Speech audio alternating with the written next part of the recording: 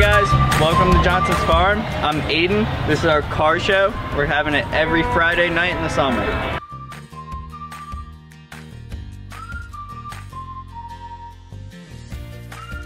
Uh, it's a great car show, good food, good people, uh, a lot of cool cars here.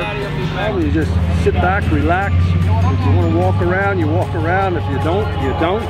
I mean, you see friends, you meet new people.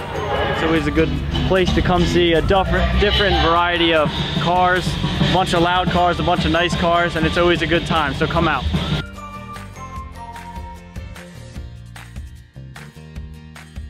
Hi there folks, it's Farmer Aiden. I'm here at Johnson's Car Show and Barbecue that we have every Friday night from 5 to 8.